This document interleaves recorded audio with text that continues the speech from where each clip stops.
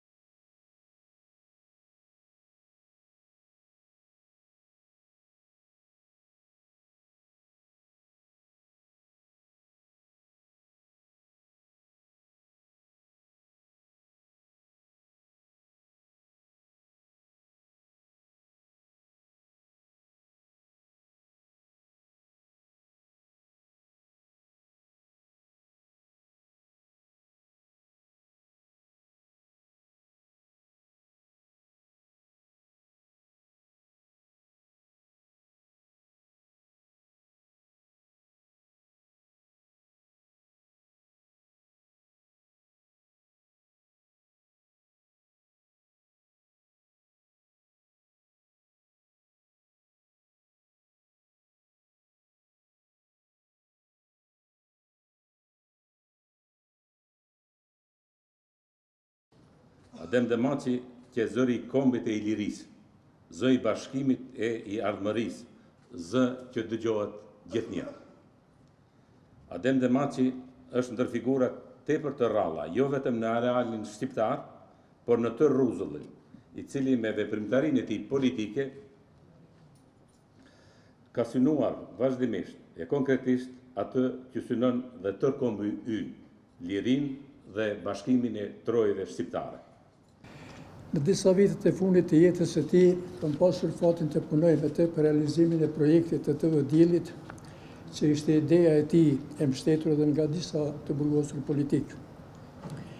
Mirëpo smundja bëri që projekti të marrë një rrjedhë tjetër.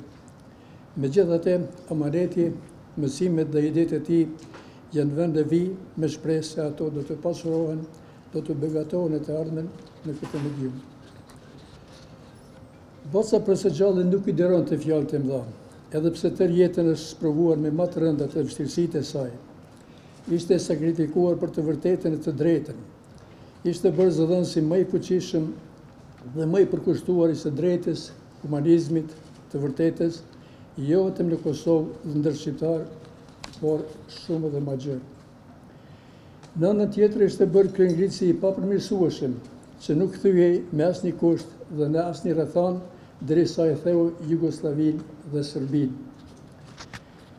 Duke qenë i çiltër si nga natyra pranverore në agim, humanist dhe i njerëzishëm deri në pakufi, i sprovuar në jetë nga forcat e errësirës, i rrahur me vaj e uthull nga të priturat dhe rrëgjimet e jetës, Adem Demaçi ishte dhe mbetet mishërim i sakrificës shqiptare për liri e bashkim, ishte vetë simboli i kësaj sakrifice, ishte epiqendra e një drame kombëtare me shumë akte, një dramë epilogun e së cilës ende nuk e kemi arritur.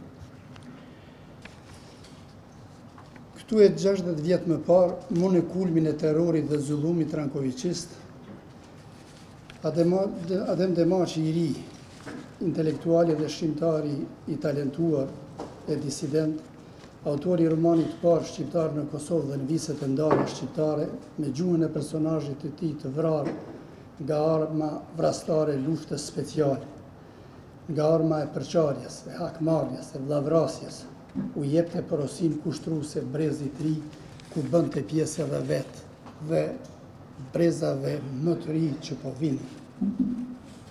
Adem Demaçi student që sapo kishte filluar studimet e letërsisë në Beograd ngrinte zërin e mospajtimit. Adem Demaçi që qe shkolluar në serbisht, pas burgut i përshtati veprat e tij në shqipen standarde.